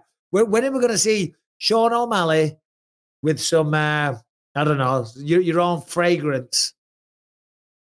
Shit, I got my own fragrance right now. I just got done gaming for four hours. I got that Call of Duty stench. Um, There you go. but yeah, I think you know, I like what Ilya's doing. For for me, in my position, you know, a superstar. You want another star. You want another guy. You want a Conor. You need a Floyd to have that Conor match. You need a Conor and a Habib. You need the two stars. I'm always looking for a star. Like I'm looking for that next guy. Merab definitely ain't a superstar, but I'll go whoop his ass and I'll make myself become more of a star. Ilya has to go out there, beat whoever's next, whether it's Max or Ortega or you know, uh, who who knows? Whoever he, you know, he goes out and does his thing. I'm going to continue to do my thing, and uh, I look forward to you know super fight. That's what I've been in the sport for since the beginning. You know, it was to want because I wanted to be in the biggest fights on the biggest stages. So I like when I see someone like Ilya become a superstar. Yeah, no, absolutely. Talk to me about Corey Sandhagen. What's your feelings on this guy? Very dangerous, very skilled. Uh, you know, I'm a fan of his work. I'm a fan of his style. Uh, very dangerous guy. And he'll probably fight. I'm hearing him versus Umar is probably what's going to be next. So I, I would imagine uh, I go out there, beat Merab, and I'll probably fight the winner of one of those two. That's that's what I would. If I had a guess and, and look into the future, that could be it. Yeah, does that kind of, I don't know, because I think you were talking about this recently. Umar Nurmagomedov having the last name Nurmagomedov, right? Yeah. That would be a massive, massive fight, which of course you take a cut in being the champ. You know, w- w- would it be somewhat bittersweet if Sandhagen was to beat him and take that opportunity away? Um, you know, if he goes out there and beats him in spectacular fashion, which he very, very well could, you know, hopefully that he, he creates a, a star out of Yeah. that. You know, hopefully he beat. But I do think Umar's a b- bigger fight, which is weird, just because he's. I don't even. I've never sat down and actually watched Umar fight. I've you know watched Corey fight a bunch, but Umar and Nurmagomedov could be a you know they could just sell that fight. Irish versus Russia, Habib Conor too at Oh. 35. It would be it would be huge. And I like I said, that's what I'm here for. You know, but I wouldn't be surprised if Corey beats Umar. Yeah, yeah. You never know. You never know. Uh, live since the fight. What is it? Almost two weeks. Yep, When, when yep. was it? About two weeks ago, right? How's it been, man? What, what, what have you been doing? What have you been up to? honestly, this is the most back to just normal life, uh, the fastest it's ever been. You know, I didn't, I haven't really went out and partied. I haven't celebrated, you know, with the boys. I haven't drank. I haven't stayed out all night. I haven't done anything. I've just been, uh, honestly, just been playing a ton of Call of Duty and uh, chilling. Just been chilling. It's absolutely perfect outside in Arizona right now. I have a, you know, I have a farm out here, so I got I got a little trampoline for Elena, a swing by it. I take her outside every morning, and it's just it's perfect out. So I've been been able to hang out with Elena a bunch. Um, you know, been able to. It's so nice to be able to go. Went went out to eat last night. Ordered half the menu just because I can. Um, so I've been eating good. You know, I've been sleeping good, which is nice. Uh, been gaming, been chilling, and mentally just kind of ready to get back to work. And uh, you know, I, I'm this close to greatness. I'm I'm right there to you know where I could be talked about forever, which I've never really cared about because when you're you know I've always looked at it like when I'm dead, I'm dead. Who gives a if people talk about me? But you know, now that I'm this close to it, I'm like that's pretty cool. You know, it's it's you, you try to find motivation wherever you can find it. When you haven't made it yet, you it's easy to find motivation because you, you have to pay your bills, you have to become successful, you have to not worry about working. I'm I don't have to ever work or fight or do anything ever again. So my motivation now is greatness, is chasing, you know, legendary status. legacy leaving a legacy leaving your family name behind i mean it's beautiful. It really is. I think people will be surprised sean to hear that given the stardom the level that you've reached and then you come back and you're just playing call of duty and hanging out with your daughter. I mean that's beautiful. I love that. And that's what keeps you grounded and humble and all the rest of it. Yeah you talk shit and you're confident but you've got to be as a fighter. But outside of that you're playing call of duty and hanging out with your daughter. I mean that's that, that, that's beautiful It's you know what I, I just find every fight camp I go through every 12 weeks dialed in, focused, eating good, sleeping good, no distractions. You just have this certain level of peace you find, and then I realize I'm like, okay, that's you know way more life's more enjoyable in that kind of mindset and that peace that I have in camp. So I kind of just try to I'm trying to replicate that outside of camp with with uh you know the no distractions and just you know, going out to the club, it's just kind of you go one thing leads to another, and then you're you know trying to re, you, you just I'm trying to just keep my head straight and focus and, and do what I need to do, and I can celebrate and enjoy. You know, if I want to go out and do all that stuff after I'm done fighting. Yeah, yeah, no, no, and it's overrated anyway. And you're just going to be really surrounded by a bunch of hangers on, ha- hanger oners. You know, they're not your real friends. They're just trying to hang on because you're the champ, and it makes them look cool. Get an Instagram picture. It's all bullshit. It's all fake. None of it really even matters. You're not even like a drinker or a party animal anyway, right? Uh, I've go through. I've I went through my stages. You know, I uh, I I've been through my stages. I've been Yeah. to the point where I'm just like, fuck, going. It's Friday night. I want to go out with the boys. I want to go to the club. I want to. You know, I've been through my phases, and I don't even know. I mean, right now in this mindset, this this Sean O'Malley, you know, I don't really care to, you know, do that very often. I am UFC 300 is coming up, and I, I do host a after party at Zouk in Vegas at Resorts World. So I, you know, I definitely that'll be my first time celebrating, you know, the title defense with with the fellas, and uh, so I will go out for that. But in this mindset, I mean, I don't really have the urge to go and and party and, and do that. So I feel good right now, but I also know myself. I go through phases. I go through stages, and sometimes, you know, I'm hoping I don't have to go through another one of those stages. But if I yeah, do, yeah, yeah. But, but um, going out and partying for a lot of people, that's escapism. It's because they're working Monday to Friday in the bullshit nine to five job. You know, you, you've cracked it. You're doing incredible things.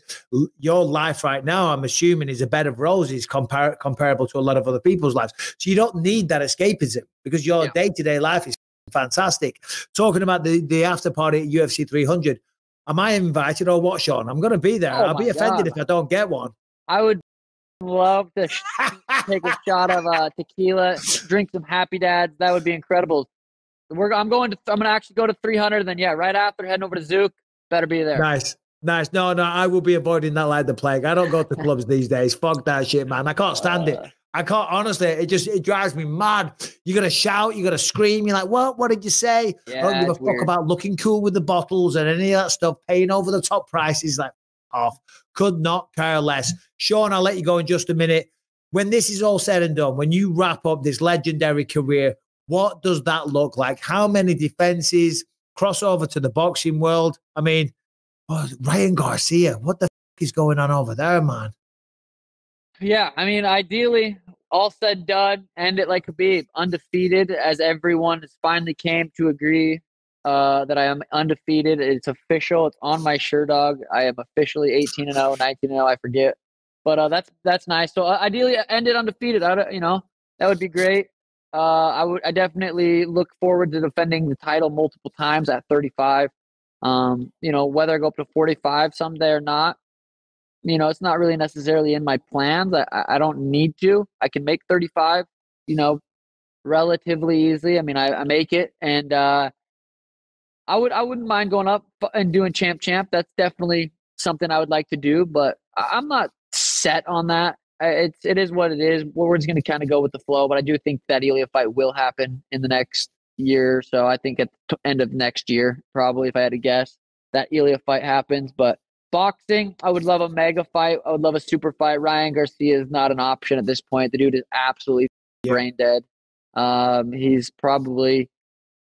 I'll be surprised if he's around. I'll be surprised if he's around in the next few years. You know, he's not doing good. He's not where he needs to be. Uh, he's probably not surrounded by the people he needs to be surrounded by. So, you know, boxing wise, Floyd's always an option. He's, you know, still running around. He's getting older. The older he gets, the less likely he has of uh, taking right hands. So, you know, that that's always kind of an option. And it sounds crazy, but Floyd does that. He does ex- he does those crazy fights.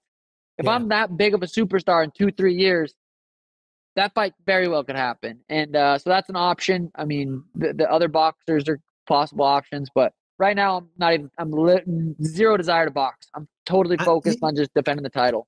But an exhibition match, you could probably do that though. Anyway, Be incredible. I would love. Yeah. I, no, no, I was talking about contract contractually. I'm not sure. I don't know Oh, what yeah, it says, but yeah. but an exhibition match, I don't know if it's not professional. Anyway, last question before I let you go, and thanks again for your time. Um, I was actually trying to convince my wife because I've got to come to Phoenix, a little bit of business. Kids are off school next week, so I said, well, why don't Rebecca, that's my wife, and Lucas, why don't we go to Phoenix, right? Make a little trip of it. I said, I've been there before. There's nice ranches. You can go out on horseback and all the rest of it. Um, she's still got some convincing to do. She doesn't want to spend any extra time with me. But if I did manage to convince her, where would you recommend we go? If we come to Phoenix for a couple of days, what is on the the uh, the itinerary? Phoenix for a couple of days. I mean, um, there's definitely you know great places to eat. You're out, you're in California, so I mean, there's great places to eat there. So I don't know if there's any better places to eat here. Fuck, I don't even know what there What is. about like ranches and outside stuff to do? We want to get out in nature and see cacti and you know and go. You know, Yeah, is, I- is there like good ranches and stuff? Do you know? Do you, uh, is that not you? Is that not your world? I, I just am not very familiar with that stuff because I literally don't. I just train, game, chill. But if you guys Yeah, come out yeah. towards Arizona and you got a couple hours, I would love to take you on my golf cart. You show you a bunch of the properties around out my house. Oh, I'd love to. Yeah, it would be love that'd be fun. I would. Uh, it's it's beautiful out here. So yeah, if you definitely come, I would love to love to show you around the old neighborhood. Uh, yeah, yeah. Until the day comes, you're like, oh my god, fucking Bisping's here. He fucking showed up. It was a half-assed in- invitation on the podcast. Uh, no, Sean, full full invitation, hundred percent invitation. Let me know. You you're a got my good man. number. You're a good man. Uh, still Team Sanibel. Hundred percent still team Sanibel. I got my. In I'm actually show you real quick. I'm building a full size. Let me turn this camera around here. See if I know how to. Um, I, well, I guess we'll just do it like this. Put Yeah, a full do it old size octagon right here. That kind of I Oh, kind of laid out laid out where the the octagon's going to be, so I can get an idea. Put a full size octagon in here. Weightlifting shit. I'm gonna have a yeah. So I got a nice four thousand square foot warehouse I just built, and uh it's gonna be epic. Is that on your property, Sean?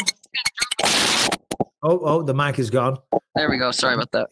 Yeah, you're good. So, so, the uh, the warehouse that you're in there is that on your property? Yeah, yeah. This is on my house, on my property. I'm about to. Uh, I have I have a couple acres. I'm about to buy. There's two er, two and a half acres I just went for sale right behind my house. So I'm about to just pull the trigger and build a crazy barn dominium house, brand like uh kind of like a dream home, something just crazy. Uh, because I need it. I well, I don't need it, but you know, I'm, I'm making all this money. I'm like, fuck, I gotta spend it. So I'm I'm about to build something crazy on my property, and uh, life's good.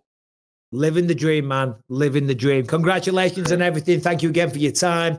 I look forward to the Sugar Show continuing. All the best, Yes, brother. sir. Boom. Thank you, Bisping. My Peace, man, bro. there he is, the one and only champion of the world.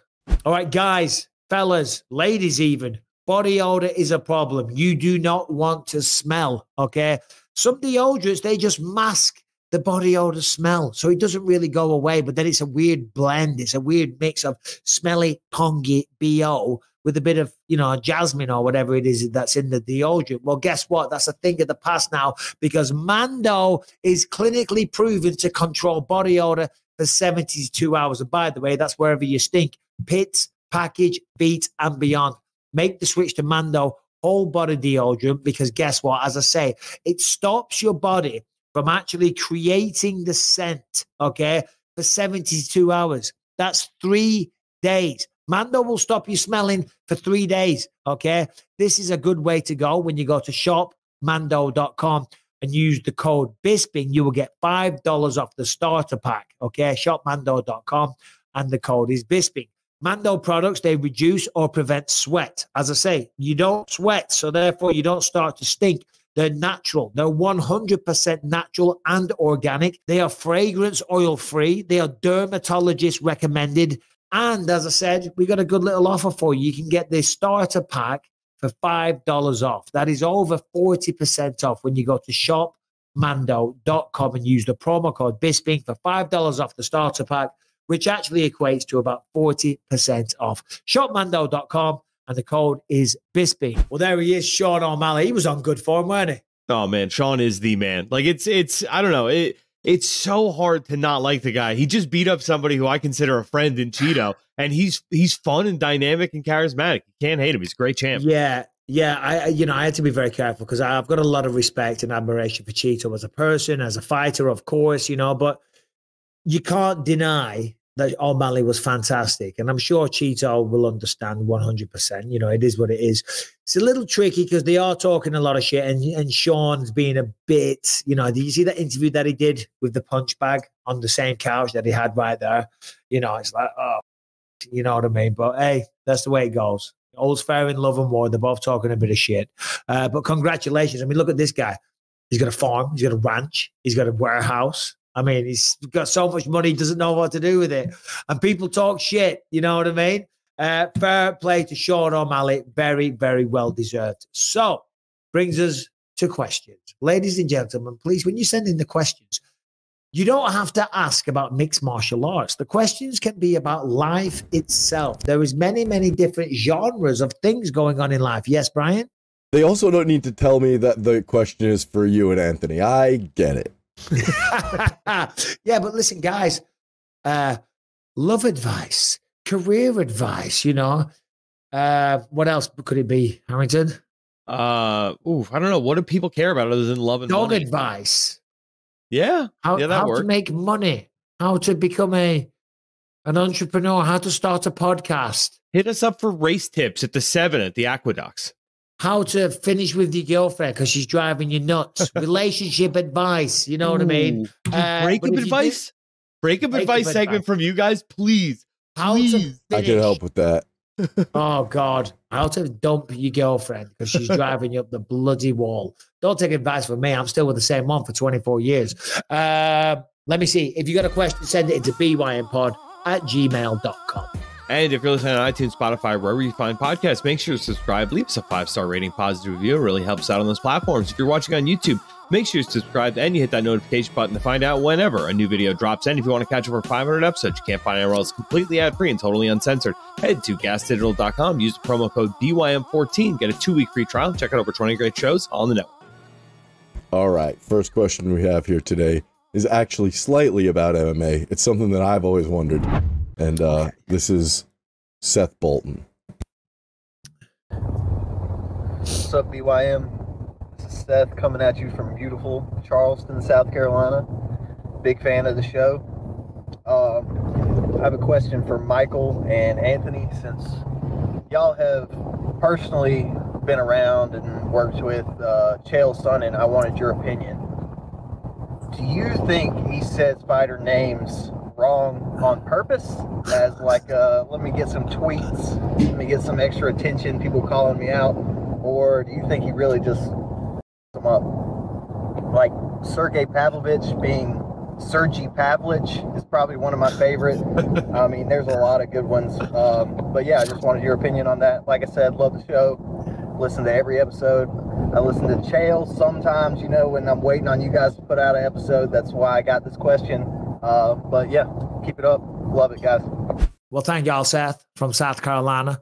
And you know, when it comes to Chael Sonnen, I really don't know because I haven't seen or experienced him saying these names wrong. But Sergey Pavlich, that's what he says. I've got to think that he's doing that one on purpose.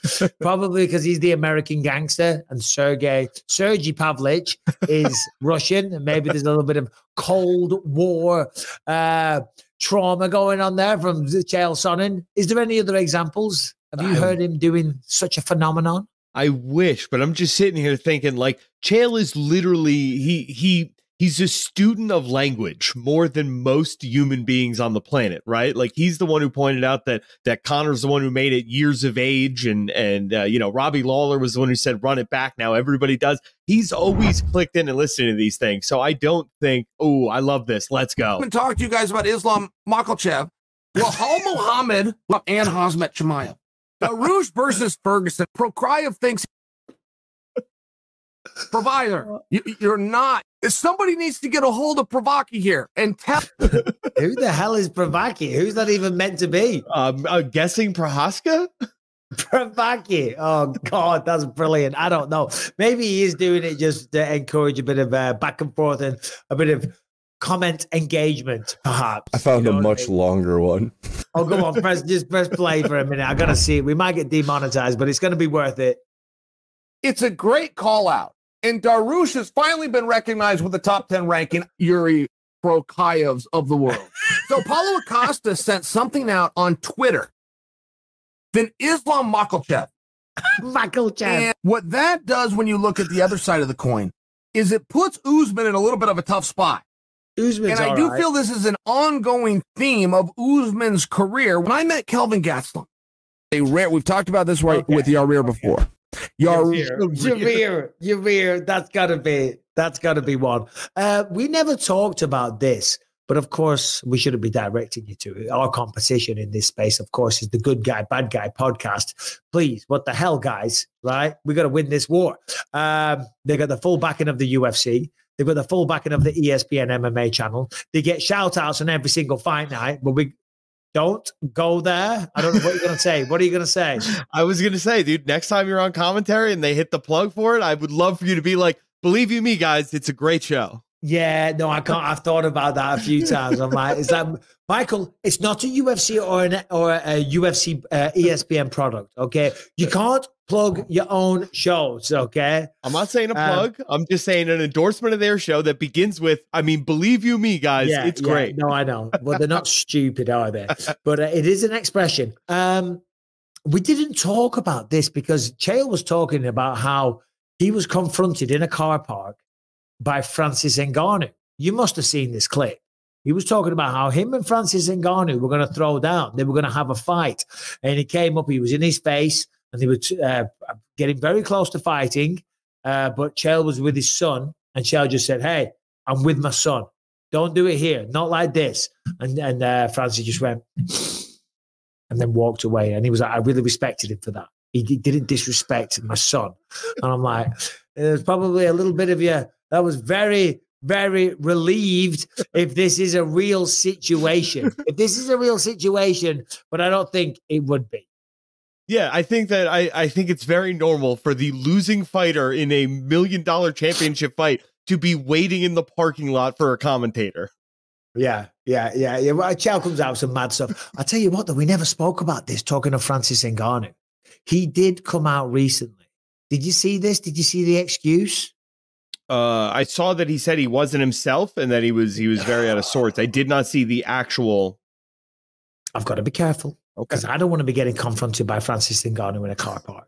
Certainly Okay, no way, no way. Listen, I, I'm a quote unquote tough guy. I won't back down to no man. You know what I mean? I'm Chris Weidman's walkout song personified. I will not back down. But Francis Ngannou loses his shit. I'm taking my two fake knees and putting them to the test. I am legging it. I'll have a good go. Uh, no, he said that he was tricked in Saudi Arabia. They picked him up. They told him the call time was 10.30 and it was about 2.30 a.m. local time. And Anthony Joshua didn't show up till hours later. So because of that, he was very sleepy and he was tired. They tricked him. And it's an old trick that they do sometimes, promoters. If they want one guy to lose, they pick them up uh, early so they get tired. Now, granted, being backstage can be mentally exhausting. This is why I got to be careful. I got to whisper it. I'm pretty sure the thing that made you tired or the thing that put you to sleep was the thunderous right hand of Anthony Joshua and not showing up an hour early. You know what I mean? Don't say that, Francis. It's not a good look. Do you know what I mean? Oh dear. Oh, did you not see that? I did. I swear to Just you, not Google it for crying out loud. I'm not making it up for the love No. of God. I, I believe you. And I'll be all right. Here is a weird thing. Here's an actual weird thing I thought watching that fight. The first, on. when he went to fight Tyson Fury, he was in the back with like 25, 30 members of his team. They were all singing African songs and beating a drum and like everybody getting on the same page, getting hyped up. Like, like he knew this was the biggest fight of his life. I didn't see any of that coming out of uh coming out of this camp. Yeah, received he said we received the schedule, and for some reason in there, uh, I'm there at the arena at least one hour before Joshua. They do this kind of trick to make you tired. I don't. I didn't realize how important Okay. it was. I can't defend him anymore. Yeah, no, no, no. Listen, He's done incredible things, but How just- early? How early do you show up to UFC event? Like, do fighters don't show up like 15 minutes before their fight, do they? No There's way. shit It's that has to get done. Yeah. It's hours. It's hours before. It's hours, and it can be very exhausting. Certainly. I mean, if you're the main event, which a lot of my fights were, I think there was only one or two fights in my UFC career where I wasn't the main or the co-main event, and it does come. It is mentally exhausting, you know. And now, granted, you get there a little bit later, but you got to be there three hours before the event. You've got to get there. You get seen by the doctor. You got to you you saw seen by the commission again. You got to do a bit of paperwork. You um, what else? What else? What else? You got to warm up. You got to get drug tested. You know what I mean? The drug testing can take a while as well. You know, so Do then they you go pull in. blood? Sometimes, well, no, they don't pull blood. They don't pull blood right before. But yeah, you walk in, they do the arrival shot. They get you walking in, then you got to go. You- there's, there's a lot of stuff to do, and they want to make sure you're there in plenty of time. They want to make sure that you're not stuck in traffic on a Saturday night at the other side of town and they're live on pay per view. It's like, sorry if it's a little inconvenient. We're gonna get you there a bit earlier. Now you can chill. And the best thing to do that a lot of fighters do, um, even back in the early days, you get there with a teammate, uh, a teammate I'm talking about on a regional show. Your teammate that you travel down to the event with might be the first prelim of the night. You might be the main event. You still got together in the car.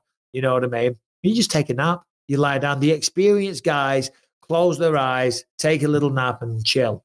The inexperienced are running around like this, like a madman. You know what I mean? And talking to everybody, yapping to everybody, going out. This was me going out, talking to everyone, lapping up the limelight at the moment, and taking pictures. And they're like, "What are you doing? Get back to your dressing room and relax. You're using up a lot of energy." I'm like, "This is my moment. I'm loving it." anyway, thank you for the question. Yeah, Chael, he's going to be butchering them on purpose. Brian. Next question we have here is from Kevin Morales. Good morning, BYM crew. This is Kevin Morales coming to you guys from Greenville, Tennessee. Uh, my question today is for Anthony and Michael.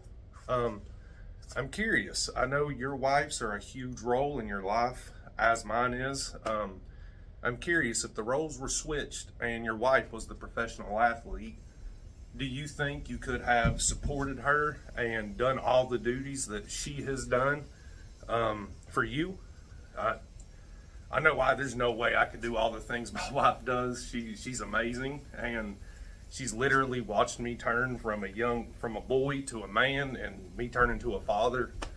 I wish I could say I could do her role, but I can't. It's just a dream.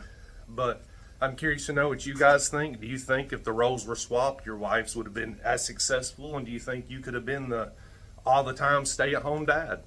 Um, Anthony, good luck on your upcoming fight. I love the show. Listen to you guys all the time. Y'all have a good day and uh, keep up with those gains. Ville, Tennessee. What was his name? Sorry. Johnny, Uh, Jimmy, Paulie. Dude. Y'all, this is just this is me. Kevin. Greenville. Kevin. Kevin.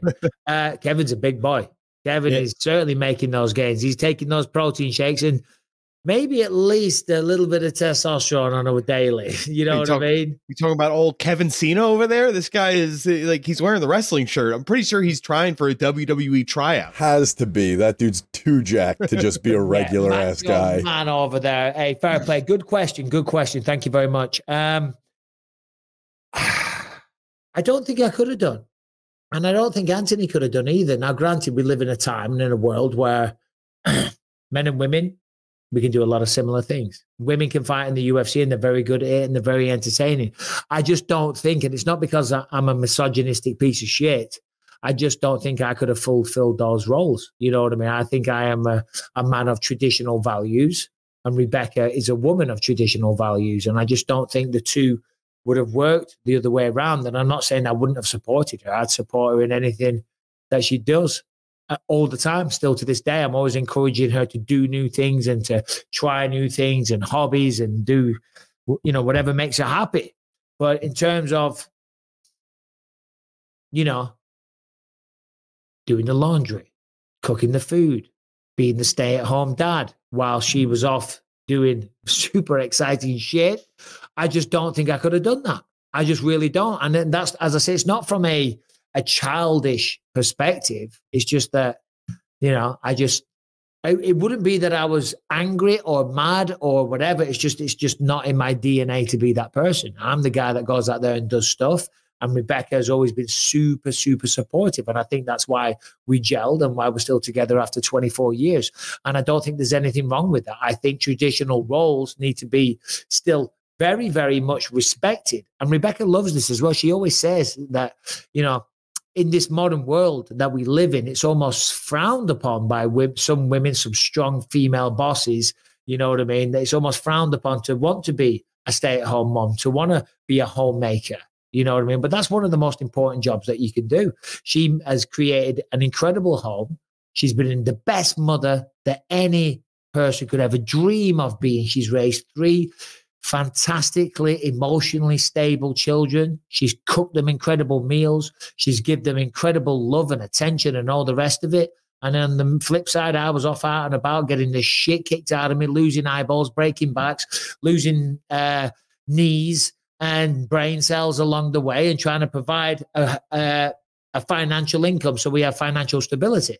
And those roles are very much appreciated on both sides. So to answer the question, I don't know if I could have done that. And but as I say, it's not because of some weird misogynistic. I'm a man, and my wife ain't going to go out and do that. If she wanted to go and do that, I would 100% respect and appreciate that. But she's never wanted to, and I've never wanted the flip side either. Yeah, know? I couldn't.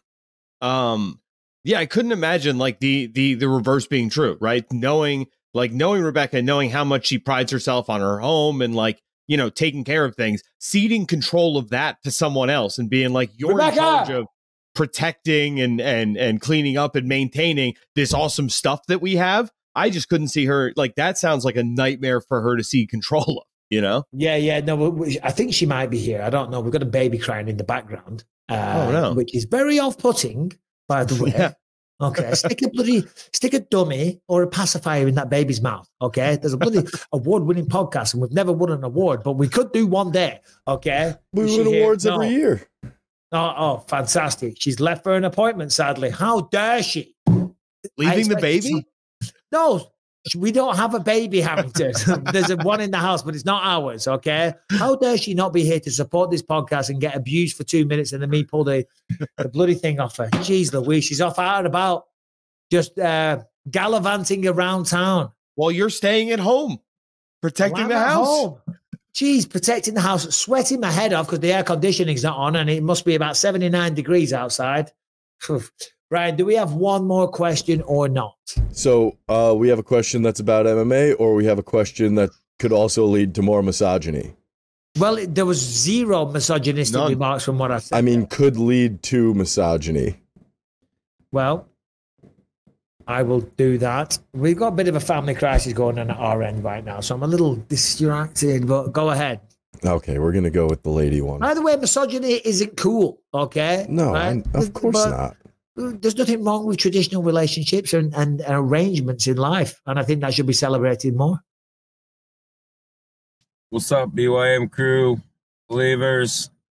So, quick question: When you and your uh, family, or you and your partner are driving, who drives? The man or the woman? Her car, your car? It don't matter. I'm always driving. My old lady hates it, but them's my rules. And you know, I remember even growing up, yeah, dating girls that had cars when I didn't. If I had my license, I was driving. I think it says a lot about type of a man, in my opinion, who you are. So maybe is a question to the believers. Um, get behind the wheel, be a man, and don't let your lady pump gas. That's just rude. You know, that's a bad look. But um, yeah. That being said, I love the show, guys. Uh, keep doing what you're doing, and uh, until next time. Babe, that's good. We're filled up.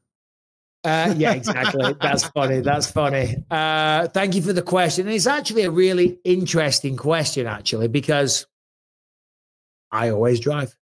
I always drive, unless we go to a restaurant and I have like two drinks, and I'm like, um, "You got to drive, babe." Simple as that. Uh, I, I, I think, Brian, can you look up? Can you look and see if there's a, a stat related to this? It might be hard to find, but on average, who does the driving? I would imagine that in most relationships, the men do the driving, and we go in my car. My, I know you're not gonna. I know yours is gonna be different, Harrington, but you know, yeah, I don't think you're the average man. Uh, it's a joke. It's a joke. Uh, Rebecca has a Tesla. I have a nice Audi S7. So we take the Audi S7. I like the roar of the engine. I like it. It's better. It just feels more manly. I don't like the Tesla. It's a pain in the ass to drive. It pisses me off. I just don't like it. Nothing against Tesla, Elon Musk, Neuralink, any of that shit. Nothing about EVs. None of that. I just prefer the fucking roar of the Audi S7 and the way that it makes me feel as a man and makes my dick grow. Okay. but I'm driving it. No, go on, Brian. What's the start? So men drive about 30% more on average according to national statistics. Uh, whoever the fuck took that. But uh, you know what's funny you said that about Teslas is uh I've seen a video of people who drive Teslas and then drive a, like a regular car and they crash them because they don't know to hit the brake. Oh yeah, yeah, yeah. For anyone that's never driven a Tesla, you don't have a brake. You push the accelerator and then you let go of the accelerator for the for, it, for the car to stop. If you if there's no acceleration, it just grinds to a halt. You know what I'm saying? And it sounds kind of complicated, but Rebecca was all kind of like flustered about it. Oh, what do I do? And you you learn you learn it pretty quickly. You know what I mean? But now she does say, if I ever went back to a regular car, I think I'd crash because I just let my foot off the the accelerator and don't push a brake. So there you go. Anyway, that's the show, ladies and gentlemen. Thanks to Sean O'Malley. Big thanks to Bo Nickal. Big thanks to at the M Harrington and at B McKay is right. And that's a CK. Guys, enjoy the weekend. Rose Namajunas, the former champ, taking on Amanda Ribas this weekend. Good little fight card as well, so stay tuned for that one. We'll be back on Monday with Anthony Smith. So, see you there.